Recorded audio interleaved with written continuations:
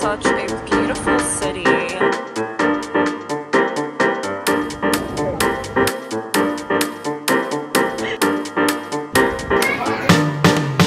Cheers.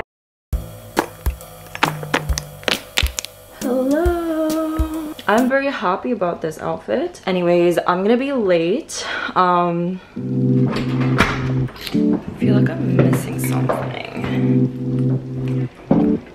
The weather is amazing. I, am gonna cry. I am so happy. This is my outfit. I always feel like I'm overdressed in my student accommodation, but that is not a problem. Did I, I think I just missed my bus. I'm gonna do white.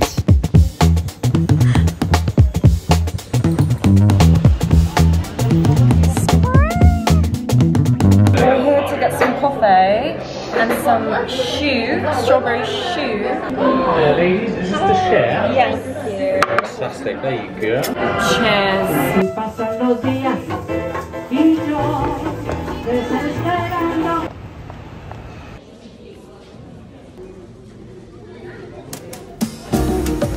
London is such a beautiful city. I'm so happy.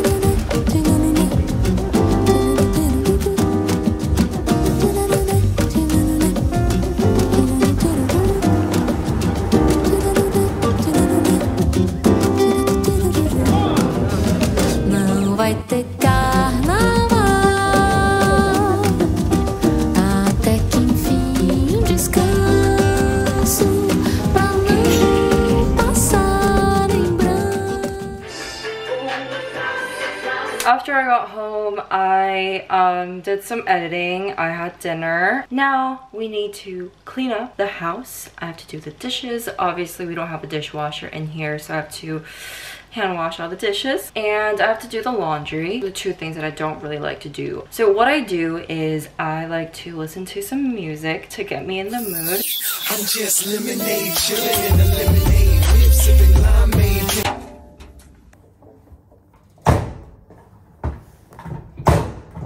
Oh my god, this does not close, this does not work. I'm going to cry.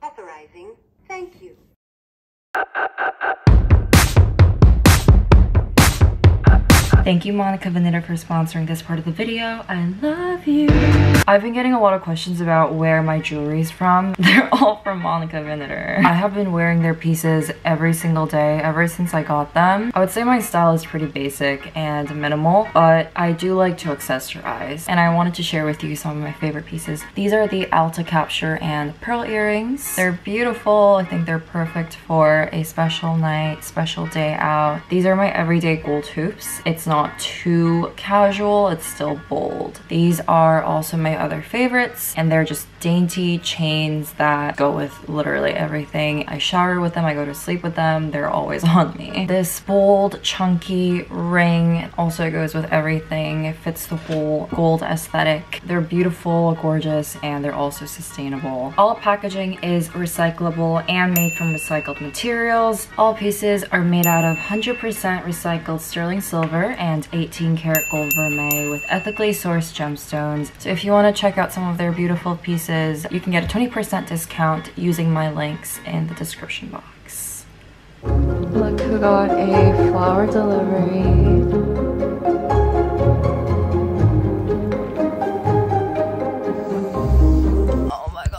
Y'all, I am in a state of emergency because I have a, um, let me get my coffee. The assignment that is due in four days is 100% of my final grade and it is also 5,000 words. But it's okay because we were feeling motivated. Like we are feeling like, um, let's do this. We'll do it. I will. Okay. The module is assessed by a single 5,000 word essay. There is no exam. The bibliography does not count. Okay, so let's talk about our writing process. What is my writing process? I literally forgot.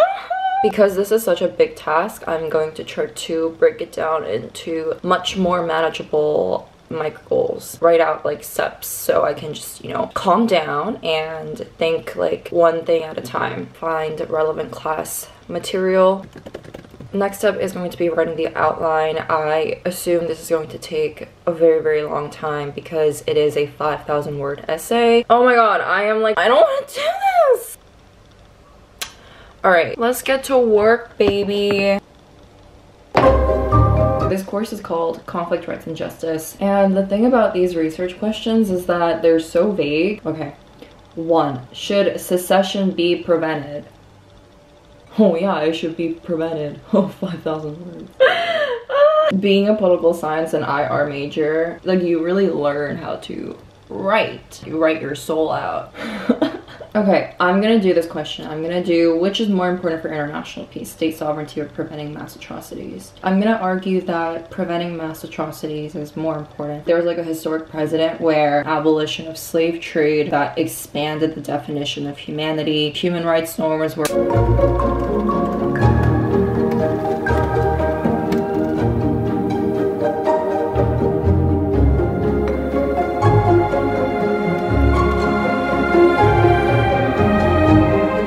let's take a quick break um, of, of breakfast. Um, I don't know why I thought it was a good idea to put off doing this assignment until last minute. It's like a healthy source of adrenaline.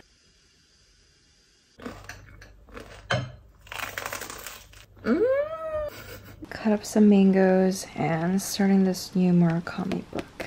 Very excited. This looks very, very good.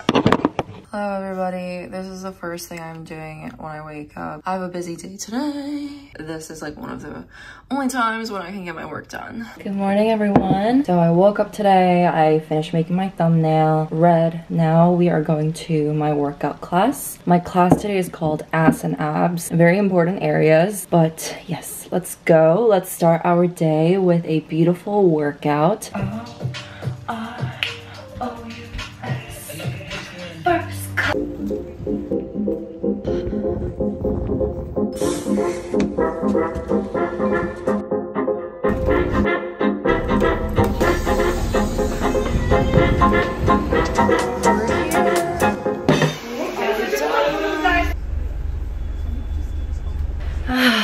Came back home, I showered, got ready, and now I will be going to Cambridge Theatre to watch a musical. I'm seeing Matilda. Matilda's just a great story. I'm dressed very, very comfortably because I am going to be sitting down for like two and a half hours. This is the one thing about lip gloss.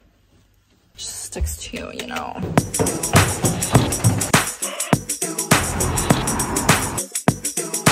I literally ran here.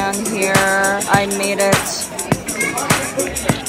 I just paid nine pounds for a cheap glass of red wine. I also don't understand a lot of what the actors are saying. First of all, it's like a British accent. Second of all, it's like a musical voice, which is even harder to understand. I cry so much. I don't know how you can watch it without crying.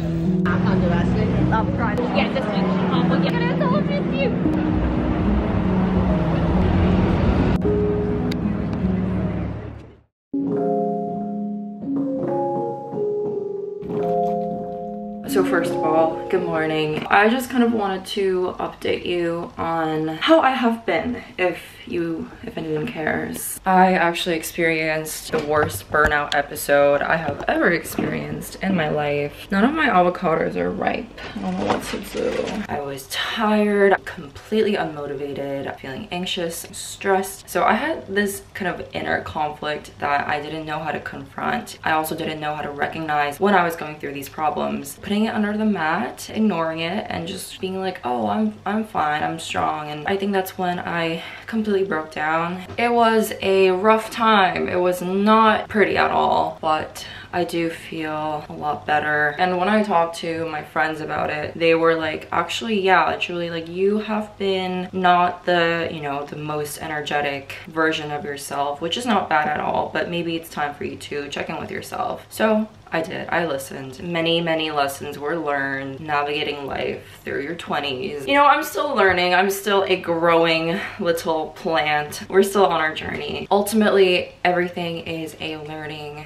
growing opportunity. You will have become stronger and smarter by the end of it all. Nothing's going to kill you, you know? If anyone is currently going through something similar, then I just want to say take all the time you need. There's no pressure to rush the process. It's it's really okay for you to feel that way and I think it's a crucial step in growing up and maturing. So it is all normal. You know the Tyler the Creator song? Cause after the songs, when the flowers bloom. Okay, I really have to get going. I have to leave the house in 30 minutes. The weather is finally looking like spring weather. I'm so I'm so excited. I'm seeing a friend in London that I have not seen for two, three weeks just because I've been traveling around. I'm currently on my way to Shoreditch. Nice weather. Let's go. Ground floor. I'm at lunch. I know, I know. I don't want to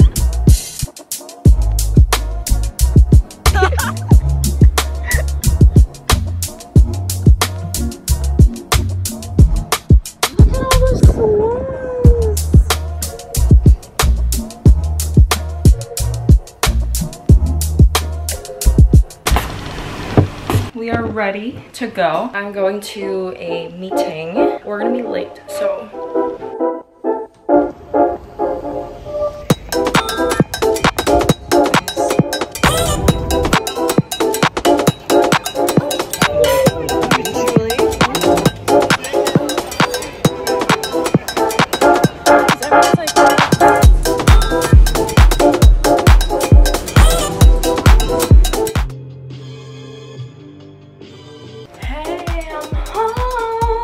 I had a good day and I canceled my dinner plans because I got tired. But you know what we do when we go grocery shopping? We do grocery haul. All right, sourdough, a small milk, chicken drumsticks that I will be cooking today, Greek yogurt, apples. M&S will always have these kind of two pound promotions. Two grapefruits, one bell pepper, and a bag of avocados. Now I'm gonna chill. I'm gonna do some work, read, make some dinner. That'll be today's day.